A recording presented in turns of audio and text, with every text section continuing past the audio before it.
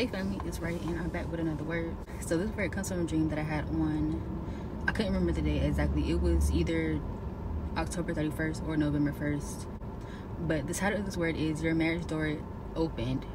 Your spouse is getting things in order. I'm into the dream. So it said, I had a dream where I saw a woman sitting on a couch and then I saw a blow up mattress on the floor in front of the couch where she was sitting and there was a man laying laying on the mattress so she went down on the floor or she went yeah she got down from the couch and she went to lay down next to him on the mattress. And so she pulled the cover up and got underneath. He was laying with his back facing her and he turned around and he turned around and looked over his shoulder and saw that it was her. He pulled his hand back to reach for her hand and he pulled her hand back around. Basically her hand was kind of around his waist or his stomach and then they they went to sleep. Then the morning came and there was a lady walked out there was a door and the lady walked a lady walked through the door. And so the spouse got up and he kind of crawled away. He crawled away and he walked out of the door. Once he got to the door he stood up he walked out of the door. The woman went over to the door and it's like there was no hinge on the door. So the door essentially she kept she was trying to shut the door after he left out but the door couldn't be shut. There were no hinges and it was just just a huge opening there. The door literally there was no way for the door to be shut. And so that was just that was a dream. The lord led me to two scriptures. The first one he led me to was ruth and it was ruth 3 and i'm gonna go to verse 6 through 14 and it says so she went down to the threshing floor and did just as her mother-in-law had told her. When boaz had eaten and drunk and his heart was happy he went to lie down at the end of the stack of grain. Then ruth came secretly and uncovered his feet and lay down in the middle of the night, the man was startled and he turned over and found a woman lying at his, at his feet. So he said, Who are you? And he answered, I am Ruth, your maid. Spread the hem of your garment over me, for you are a close relative and redeemer.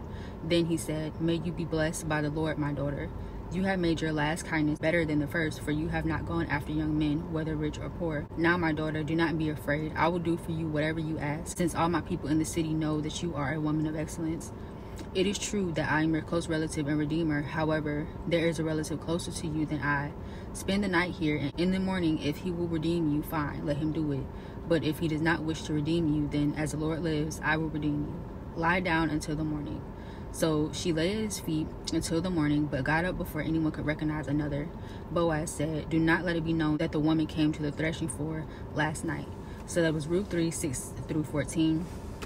And the next one was Revelation 3 and 8, which says, I know your deeds. See, I have set before you an open door which no one is able to shut. For you have a little power and have kept my word and have not renounced or denied my name. So the message is straight and simple. The Lord is saying your marriage door is open. You can't shut it. They can't shut it. Shut it. Nobody can shut this door. The door that the Lord has opened, no man can shut. So your spouse is getting things in order. You may be in a separation right now as it was in the dream. He he left out of the door, but this leaving wasn't forever. This leaving, him leaving was for him to get things in order. This leaving was for him to um like Boaz did. He said essentially there was an order that had that things had to be done in in order for him to redeem Ruth as his wife. This spouse, whether you are in separation, you know this person, or you don't know this person but the spouse is on the way to you this marriage is on its way to you the your marriage door is open.